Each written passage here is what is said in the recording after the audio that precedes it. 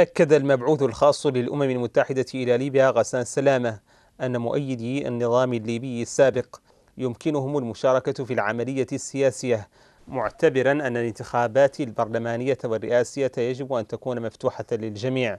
وأضاف سلامة في مقابلة مع قناة فرانس فانتكات أريد أن لا يكون الاتفاق السياسي ملكا خاصا لهذا أو ذاك فهو يمكن أن يشمل سيف الإسلام نجل القذافي ويمكن أن يشمل مؤيدي النظام السابق.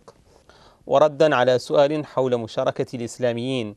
قال سلامة أن هؤلاء يشكلون مجموعة كبيرة جدا وأوضح إذا كنتم تتحدثون عن جماعات عنيفة فهي لا تريد المشاركة باللعبة الديمقراطية وهي تستبعد نفسها.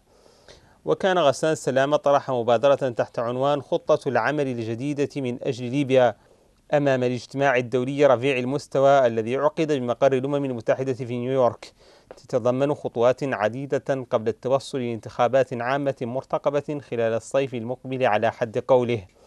وتابع سلامة يجب أن نهيئ الظروف لهذه الانتخابات وأن نعرف كيف ننتخب رئيسا وأي سلطة سنمنحه إياها. وأوضح أن الخطوة الأولى هي أن يكون هناك قانون انتخابي. وحذر المبعوث الأممي من مبادرات لم يتم التشاور بها. تقوم بها بلدان منخرطة بالملف الليبي. وقال إن الخطوات يجب أن تتم تحت مظلة الأمم المتحدة. ومنذ الإطاحة بنظام معمر القذافي عام 2011 شهدت ليبيا خلافات كبيرة بين مجموعات مسلحة وسلطات سياسية متنافسة.